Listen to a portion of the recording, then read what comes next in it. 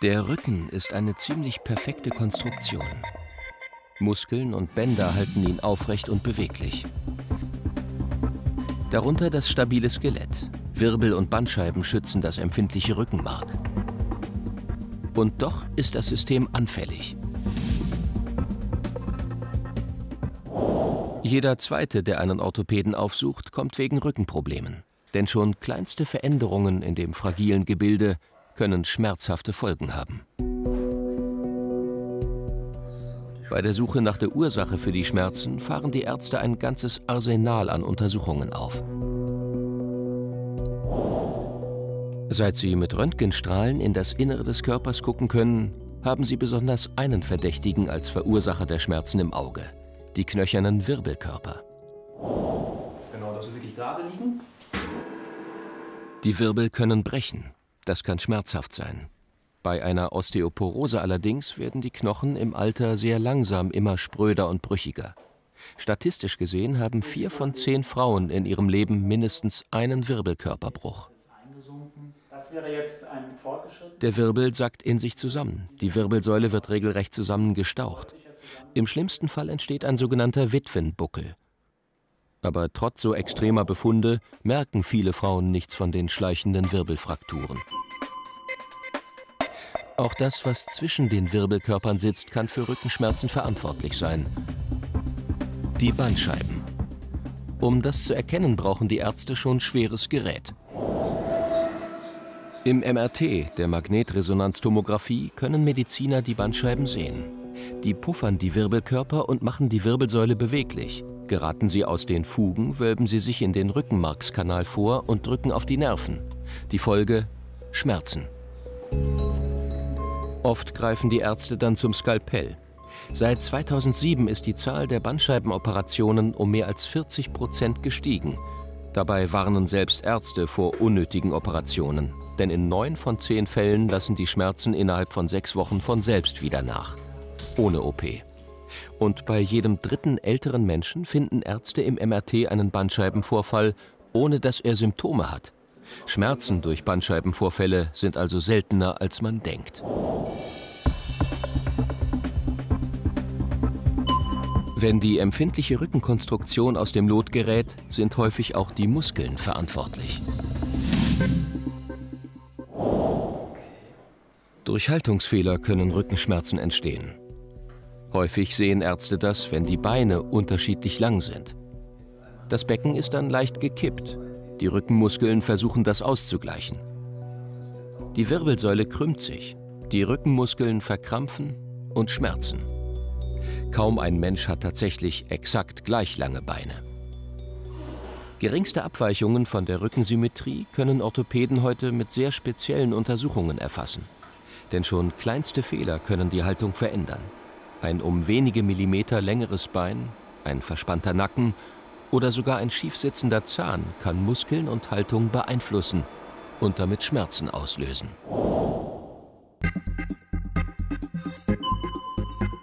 Eine weitere Problemstelle im Rücken liegt im Becken, zwischen Kreuzbein und Darmbein. Das sogenannte Iliosakralgelenk. Ja? Okay. Dieses Gelenk ist nicht besonders beweglich. Ärzte können seine Beweglichkeit durch bestimmte Untersuchungen testen. Ist das Gelenk blockiert, sind oft Schmerzen die Folge. Das kann passieren, wenn man eine Treppenstufe übersieht oder einen Tritt ins Leere macht. Solche Blockaden sollen für ein Fünftel aller ungeklärten Kreuzschmerzen verantwortlich sein, glauben einige Forscher. Das Problem? Die Blockade können Ärzte nur durch manuelle Untersuchungen aufspüren. Im Röntgen oder MRT sehen sie die Blockade nicht. Ist okay? Letztlich bleibt oft unklar, ob das Iliosakralgelenk blockiert und für die Schmerzen verantwortlich ist. Bei der Suche nach den Schmerzverursachern im Rücken haben Forscher nun einen neuen Verdächtigen im Visier, der lange Zeit ein Schattendasein fristete. Das Bindegewebe. Es umhüllt die Muskeln und ist schmerzempfindlich. Diese Faszien können verhärten und sozusagen verfilzen. In Röntgen, MRT und CT kann man kaum sehen, wenn sie sich verändern. Vielleicht konnten die Faszien deshalb ihre Rolle bei der Entstehung von Rückenschmerzen so lange verbergen.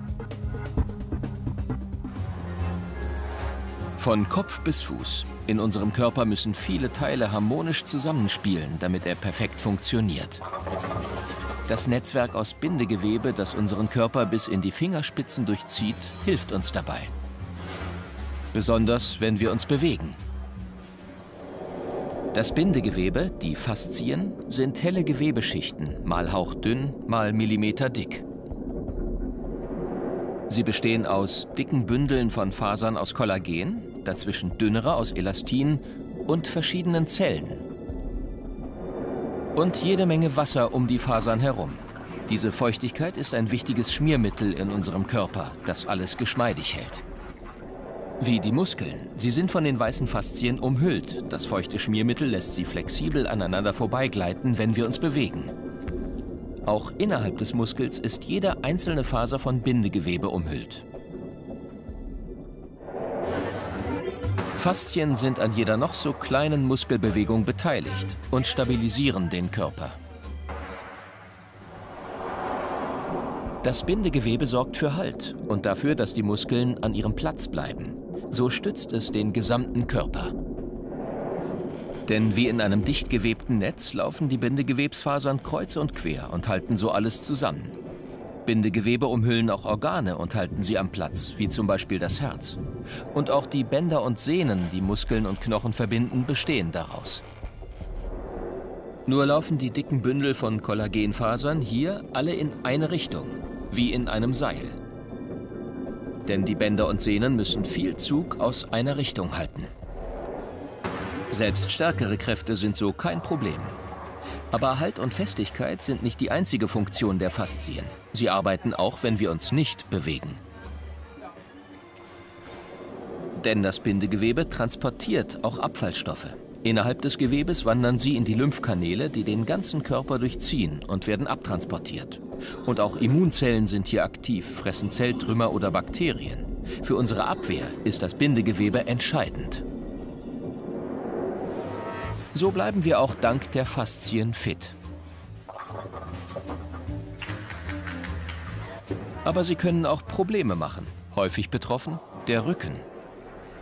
Bindegewebe kann seinen Wassergehalt oder die Struktur verändern. Es kann dicker werden und verfilzen.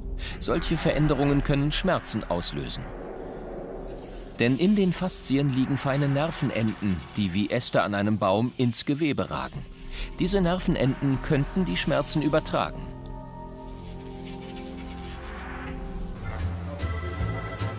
Aber auch unsere Körperhaltung können Faszien wahrnehmen. Zum Beispiel, wie stark die Wirbelsäule gekrümmt ist. Denn auch zwischen den Wirbeln liegen Bänder aus Bindegewebe. In ihnen kleine Rezeptoren, die messen, wenn das Gewebe gedehnt wird. Auch an den Sehnen und Muskeln sitzen ähnliche Messkörperchen. Solche Rezeptoren helfen, unsere Lage wahrzunehmen und wie wir uns bewegen. Natürlich zusammen mit dem Sehsinn oder dem Gleichgewichtsorgan im Ohr.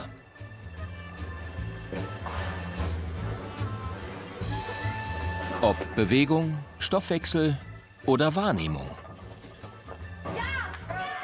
Beim erfolgreichen Zusammenspiel aller Strukturen in unserem Körper spielt auch das Netzwerk der Faszien eine wesentliche Rolle.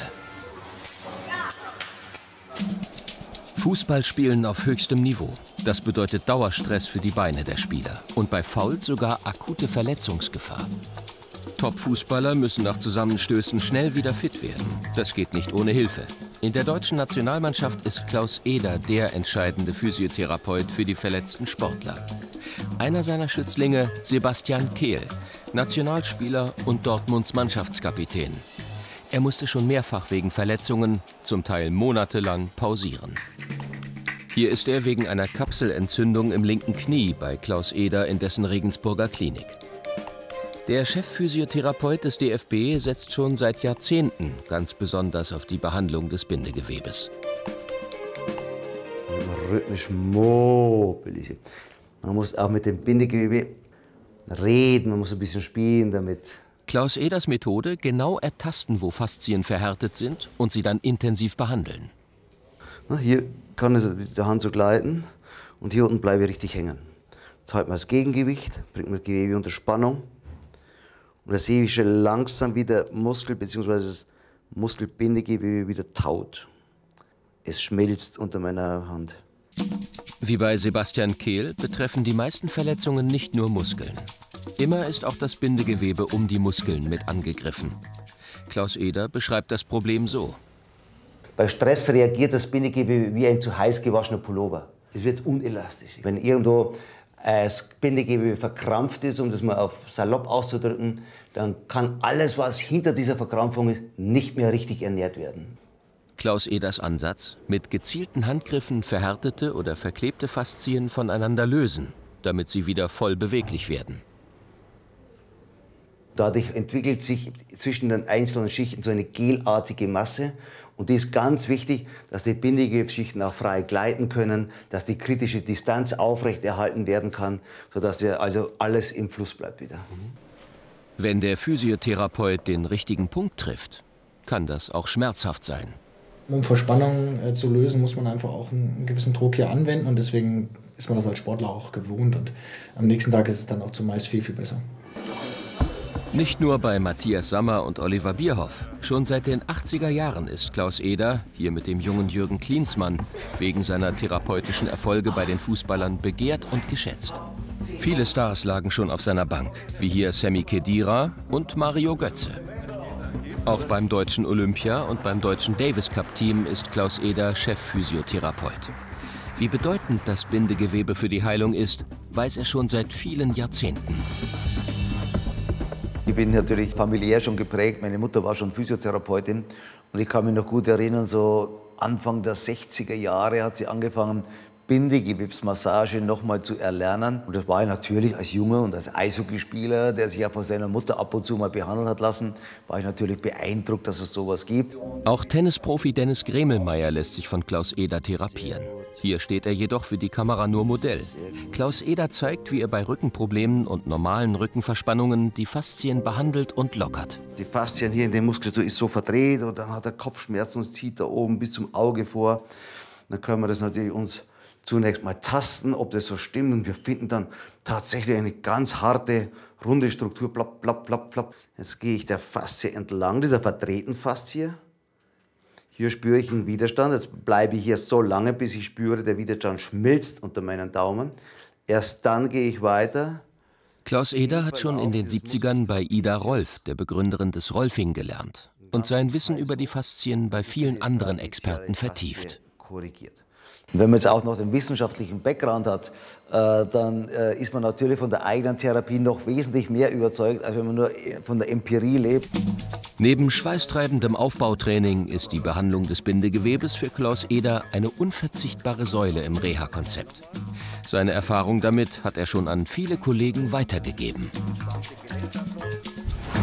Wenn ihr dieses Video interessant fandet, dann verspreche ich euch, gibt es noch viel mehr interessante Videos auf diesem Kanal. Deswegen kann ich nur eins empfehlen, hier oben abonnieren, beziehungsweise ich kann noch was empfehlen, nämlich diese beiden Videos. Ansonsten sehen wir uns bald wieder. Schreibt in die Kommentare, welche Themen ihr gerne hören würdet. Bis bald.